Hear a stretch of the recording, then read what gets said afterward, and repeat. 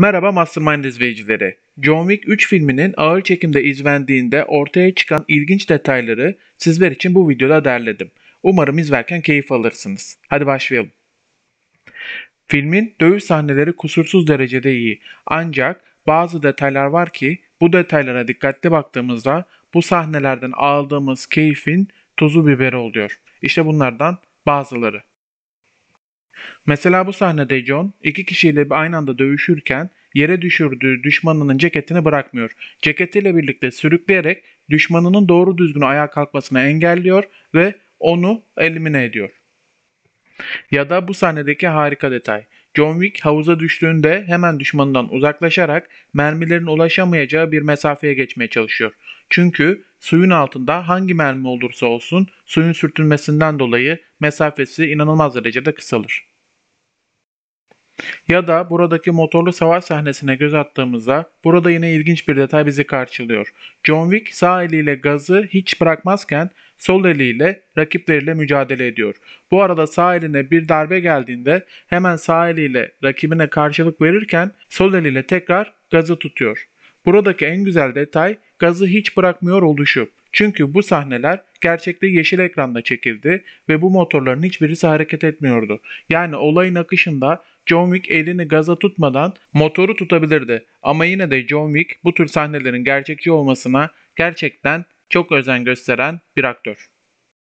Bu sahnede yine eski bir başyapıta dem vurulmuş. John Wick antik silah fabrikasına girdiği zaman Remington 1875 marka silaha 44 mm'lik mermileri uydurmaya çalışıyor. Ama uymayınca bu sefer Colt marka silahla elindeki Remington marka silahı birleştirerek yeni bir silah ortaya çıkarıyor. Bu sahnenin aynısı eski bir Vahşi Batı filmi olan İyi Kötü Çirkin'de Tuko karakteri tarafından canlandırılıyordu. Buradaki sahnede John Wick'i o kadar güzel konumlandırmışlar ki bakıldığı zaman Hristiyanlık alemindeki İsa peygamber ikonalarının tasviri çok net beliriyor. Filmin başındaki dövüş sahnelerinden birisi Ernst ile John arasında gerçekleşiyor. Fakat bu sahneden hemen önce John'u kütüphanede koşarken görüyoruz. Ve arkada dikkatli baktığımız zaman Ernst'in onu şans eseri orada gördüğünü fark ediyoruz. Yani bu planlanmış bir dövüş değil, Ernst onu o anda orada görüyor. Hemen akabindeki sahnede Ernst, John'a Dante'nin Cehennemi adlı kitaptan şu alıntıyı okuyor. Kökeninizi düşünün, canavarlar gibi yaşamak için yaratılmadınız. Bilgiye ve erdeme ulaşın. Consider your origins. You were not made to live as brutes, but to follow virtue and knowledge. Dante, Bunun hemen akabinde bir canavar gibi John'a saldıran Ernst, bunun karşısında John'un zekasıyla alt oluyor. John, bilgiyi yani kitabı farklı bir şekilde kullanarak aslında canavarlığı yeniyor. Aynı Dante'nin sözü gibi. Hatırlarsanız birinci ve ikinci filmde ajanların sisteme kayar kapaklı telefonla bağlandığından bahsetmiştim. Bu kuralı bozan tek kişi Winston'dı ve akıllı telefonla bağlanıyordu. Ama bu filmde Winston'ın da kayar kapaklı telefonla sisteme bağlandığını fark ettim. Bunu şu şekilde yorumlayabiliriz. Ya John Wick'i öldürmek için görevlendirildi ve bir alt dereceye düşürüldüğü için kayar kapaklı telefonla bağlandı ya da daha önce John Wick'e yardımda bulunduğu için yine rütbesi düşürüldü ve buna karşılık da John Wick'i öldürme görevini üstlendi. Bu sahnede ise dikkatli baktığımız zaman arkadaki çiçeklerin karakterin başında şeytan boynuzlarına benzer bir görsel oluşturduğu net bir şekilde belli oluyor.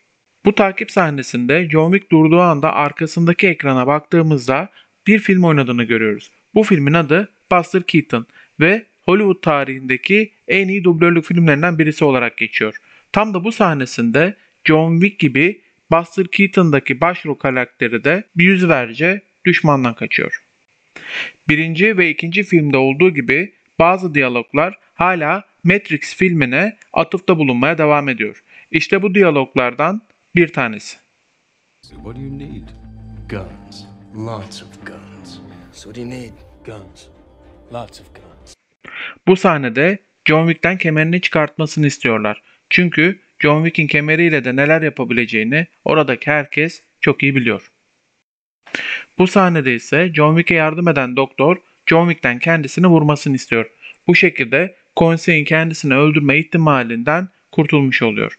Ancak dikkatli bakarsanız kurşun yedikten sonra hemen elindeki bir bez ve yaraya bastırıyor. Doktor bunu bilinçli bir şekilde yapıyor.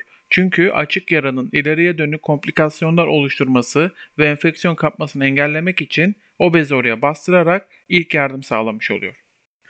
Videoyu sonlandırmadan önce Keanu Reeves'in ona sorulan bir soruya verdiği ve benim çok beğendiğim bir cevabı içeren bu küçük videoyu da sizlere iletmek istiyorum. What do you think happens when we die, Keanu Reeves? I know that the ones who love us will miss us.